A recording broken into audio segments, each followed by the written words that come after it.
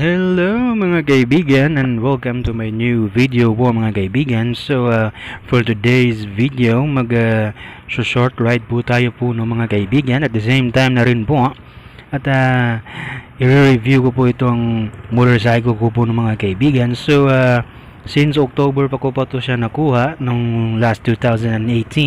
So year model ng motor ko is 2018 po no mga kaibigan na Z200S.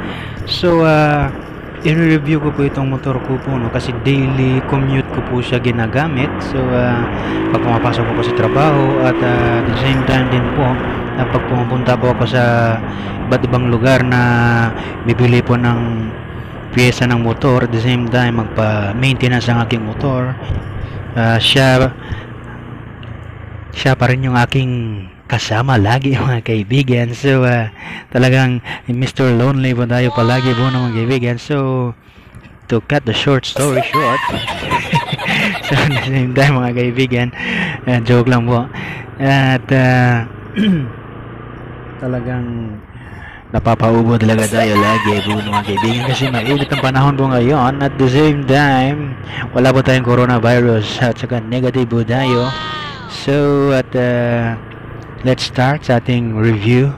First, mga kaibigan, ang uh, meron po akong top 5 and top 5 na negative sa napapansin ko sa motor na ito and top 5 din sa good quality sa ating motor. So, unahin na rin po natin yung uh, bad news mga kaibigan. So, ang tinatawag na rin natin na cons po no mga kaibigan.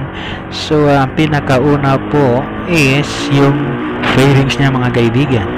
So, ang quality ng fairings niya para sa akin is not good kasi marami po ako na experience sa aking fairing naman madali lang siyang hindi siya ganong ka good quality mga kaibigan. So yun lang po napansin ko po ng mga kaibigan. So sa lahat po ng mga Z200S user po dyan mga kaibigan. So pansin nyo naman na hindi siya ganong ka durable yung ating uh, fairing at pangalawang negative pa sa akin po no ang napansin ko rito yung side stand spring niya mga kaibigan. So kumbaga mabilis po siyang maputol. Hindi po siya umabot ng taon po ng mga kaibigan. So nakuha ko po to October. So naranasan ko po to no 2019 September po ng gabi. Naputulan po ako ng uh, uh, spring ng sa side, side stand. So biglang may kumalampag sa akin tagiliran. Nakala ko na sira putulan ako ng kadena. Yun pala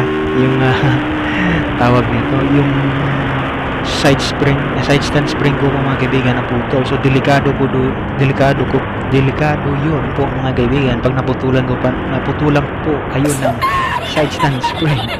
So pasensya nyo na po ako. Nabubulol-bulol po ako sa akin pag-review.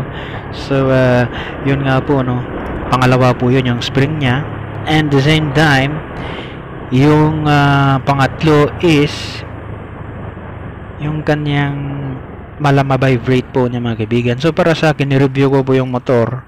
Lahat po ng mga naka single cylinder na motor po ng mga kaibigan 200cc pataas. Basta single cylinder kasi marami rin po akong mga napanood na mga vlogger na nagre-review sa isang iba't ibang brand pero nandoon pa rin mabibrate. So normal din pala sa isang single cylinder head na mabibrate siya. So, maraming ways na matanggal yung vibration. So, check na rin din natin sa ating uh, tawag nito sa page ng ating group sa Facebook sa Zip Enthusiast Z200S Enthusiast Philippines. So, so magtatanong po kayo doon sa lahat ng mga baguhan kagaya ko po ng mga kaibigan So, kung ano mga katanungan nyo about dito sa motor, nandun po sa ating FB page sa Z200 Enthusiast. So, shout out po sa inyo po ng mga kaibigan, mga kapaps. And sa pang-apat na negative sa motor na ito is yung windscreen niya mga kaibigan. Alam niyo yung stock na windscreen nito is flat siya. Hindi siya ganong uh, ano, hindi siya ganong curvy. Kita nyo naman yung bago kong windscreen is uh, double bubble na po yan. Pinalitan ko, talaga, pinalitan ko talaga ng windscreen yan para yung airflow ng eh, tawag nito yung aerodynamic niya is pampas papuntang helmet. naka-lean over ka. Kasi pag nung stock nung gamit ko, pag kahit naka-lean over ako, pumapasok pa rin sa tumatama pa rin sa aking dibdib. So, ang inabot ko po doon, kabag. So, yun nga po, no, uh, solusyonan din po natin. And then, sa panglima, is a, uh, yung ano niya, mga kaibigan, yung shock absorber niya sa likod, yung rear mono shock niya. So, kumbaga, hindi siya ganong ka, ano, may, minsan, nagpi-play siya, minsan din, matagtag. So, parang, ewan ko ba, anong ano na ito pero bala ko rin napalitan po ito no, mga kaibigan itong rear shock niya mga kaibigan. So tapos na po tayo sa 5 na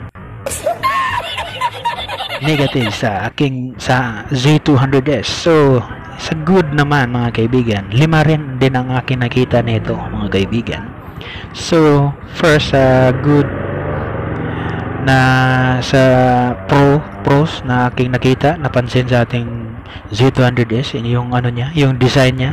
Kasi looks dito po talaga ako na in love sa looks ng motor na ito po no, mga kaibigan. And the same time yung uh, price niya abot kaya po no.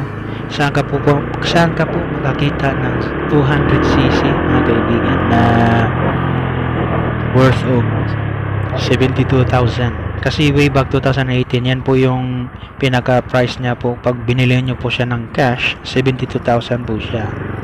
Depende na rin po sa mga branches kung nagpo-promo sila kasi marami ding mga branches na nagpo-promo po itong Motorstar. So check check yun na rin. So kung ano po yung mga new update sa price ng Z200 alam ko Z200X na ngayon yung bagong model. So yun po ang number 1 so number 2 is yung uh, headlights niya kasi naka LED na po mga kaibigan.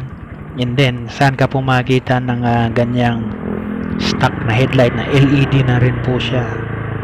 And a worth price na 72,000 po mga kaibigan. So yan po ang uh, gusto ko sa kanya. And the third thing is yung mga parts ng mga kaibigan parts ng Z200S so lahat ng big 4 category ng brands pwede siya sa mga Yamaha, Suzuki, Kawasaki, Honda. Uso po sa Honda po siya mga kaibigan. Marami po siyang ka agkano ng parts ng Honda po yung ating Z200S. In case naman pag masiraan ka ng parts like sa tawag nito, yung bearing niya sa harap, yung man sa manubela, yung knuckle bearing na tinatawag. So, kasi pinalitan ko po ito ng ball bearing sa ball race po ang pinalit ko dito mga kaibigan sa ating steering sa ating manubela po mga kaibigan. So madali lang siya hanapan ng pesa pang ilan na tayo pang apat pang, pang so pang apat na po yun. Yung pang lima is yung ano niya mga kaibigan yung tawag nito yung gulong niya po no kahit stock siya. Hindi siya ganong para sa akin na sa akin naman tong review na ito ewan ko lang sa ibang mga owners dyan kung ano napapansin nila. Iba't iba, iba't iba po kasi tayo ng uh, experience sa motor. Pero para sa akin okay naman yung stock na nagulong makapit naman din po.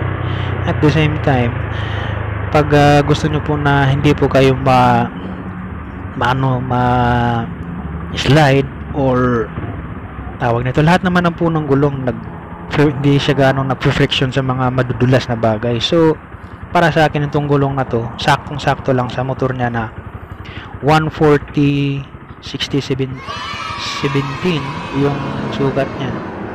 Okay naman siya, maganda siyang i-banking. The same time din mga kaibigan, yung ano niya po no, yung exhaust niya, pwede na rin pang uh, open muffler kung gusto niyo loud uh, loud exhaust tatanggalin na lang yung po yung uh, silencer na po mga kaibigan.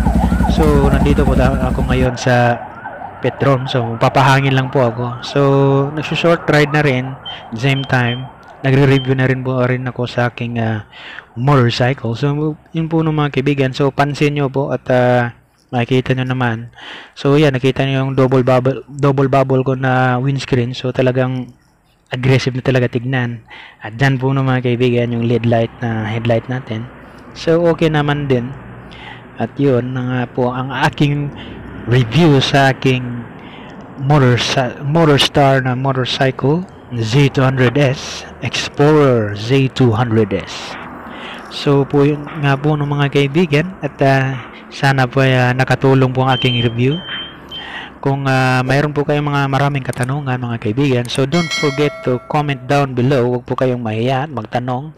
At the same time na rin po mga kaibigan i-like na rin nyo po yung aking new video. Paki-press na rin din yung red icon dyan yung subscribe po mga kaibigan. At the same time then mga kaibigan yung bell icon para pag meron po ako mga new videos po mga kaibigan.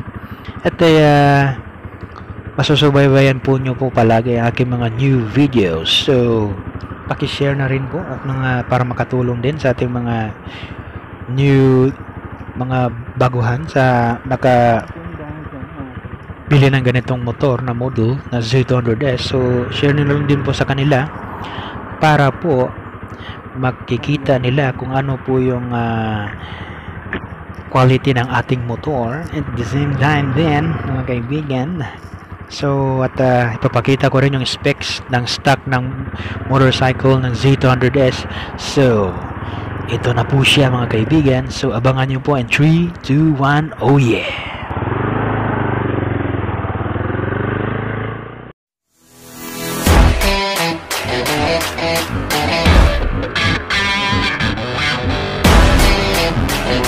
There